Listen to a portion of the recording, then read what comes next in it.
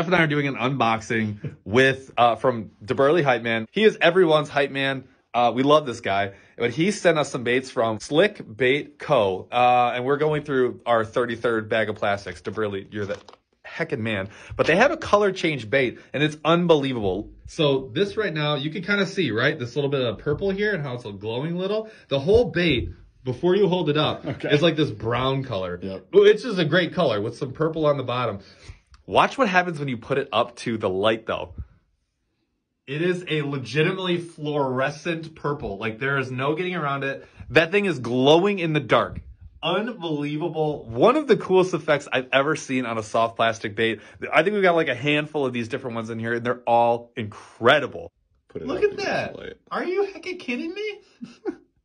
I have got to get underwater footage of this like stat.